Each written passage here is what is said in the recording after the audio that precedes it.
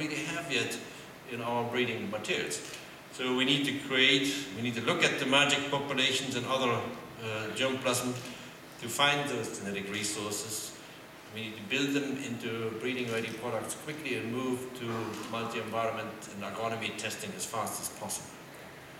We're making progress in some of these traits. Uh, this is just one example, anaerobic germination tolerance, which we believe is uh, very important for this system so that you have good emergence, but at the same time can use also water to control weeds or do seeding into standing water.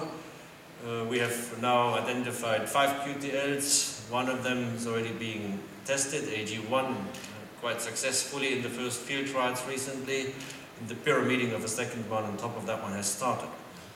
So the promise is there, uh, the steps are there, and I'm quite hopeful that we can move quickly to new breeding products coming out of this work.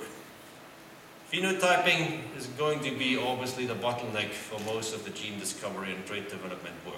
There's no question about this with the cost of genotyping and sequencing in general coming down.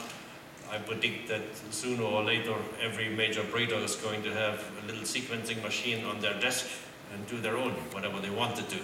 Just look at what's happening in doctors' offices when you go to a medical doctor and the machinery they already nowadays have. And It's getting smaller, it's getting faster, it's getting cheaper. I think the time of the big sequencing lab uh, is at some point going to be gone. I don't know when. But phenotyping is something that will not so easily go away.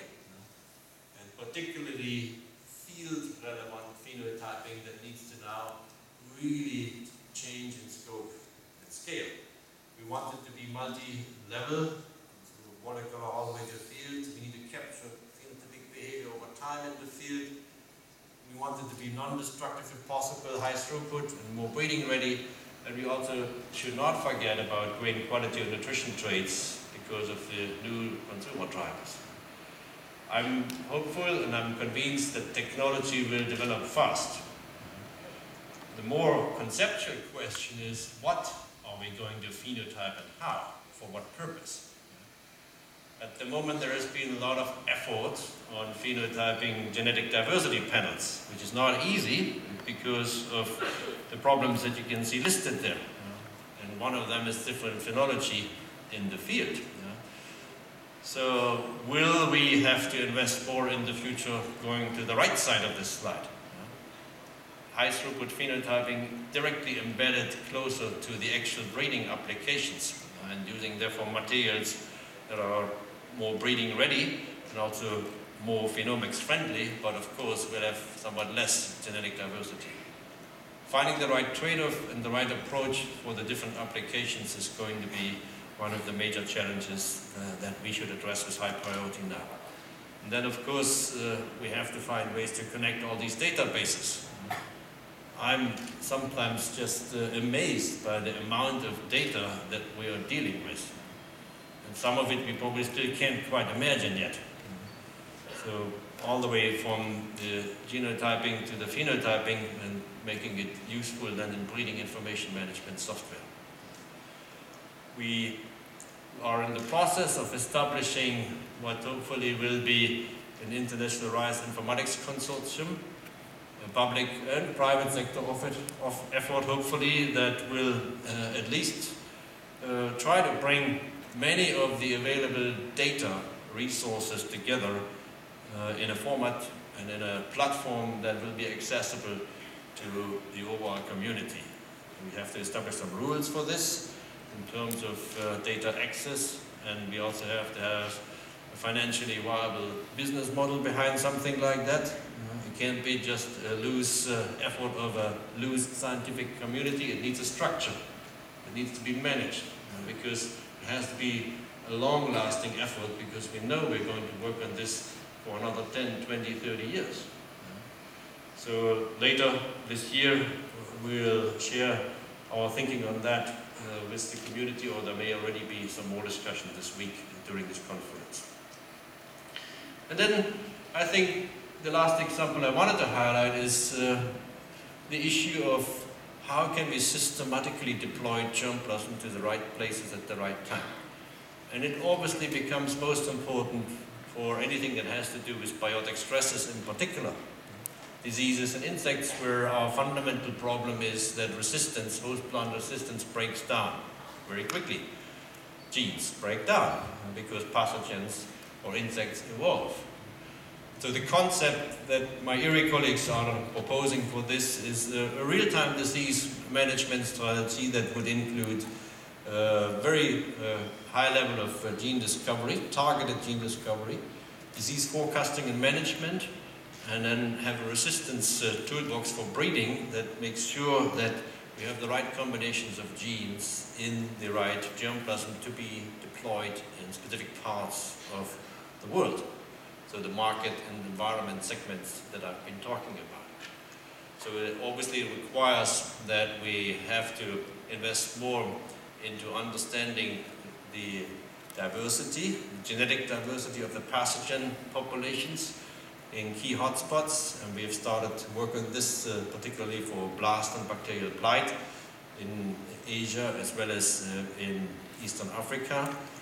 We have to build up uh, rice microbiome databases like this one, which already uh, is a resource uh, uh, on genomics information on pathogens. Uh, and then, of course, we also have to improve our prediction tools. This is one example for simulation of susceptibility to bacterial blight in different parts of Asia.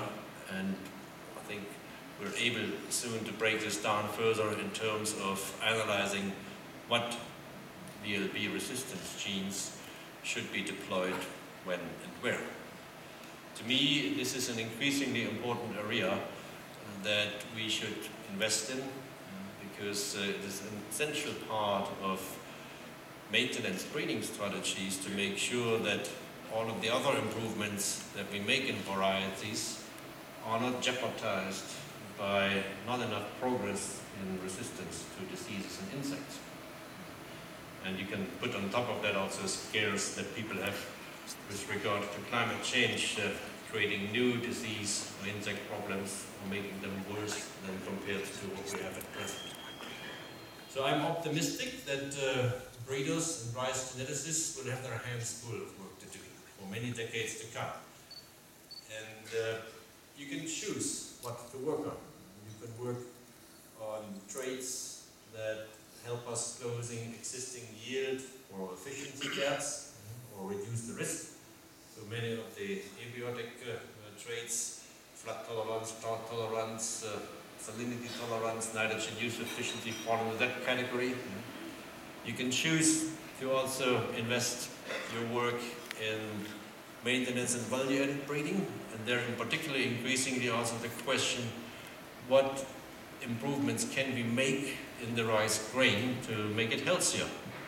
Also for those consumers uh, who are experiencing not just hunger or malnutrition, but actually the opposite, uh, problems such as diabetes 2. Or you can choose to work on increasing the yield potential. All of that will be needed as part of a sustainable development process. Perhaps, and this is my last slide, the biggest challenge remains the same as it has been for the last 40 years. Who is going to be able to really make a breakthrough in yield potential and what will it look like? I don't have the answer to this one. We have at IRRI, as part of the GRISP, a New Frontiers project uh, that is taking a functional genomics approach to yield potential, introducing genes also from wild rices to enhance certain traits and we hope that this could yield to a new plant type with a high yield potential. On the right you can see uh, the Christmas card, the New Year's card of uh, Professor Yuan Longping last year from China in which he presented his vision of how a new super yielding rice could look like. So he believes that it needs to be a lot taller and stronger than rice looks at present. You can see if you, if you are able to read the scale, uh, the plant on the right uh, is uh, well over 1 meter 50 tall. So will the rice of the future look like this? Is it possible to keep it standing up like this? I don't know. but this is one of the challenges for you to figure out and I hope you have a very good conference this week. Thank you.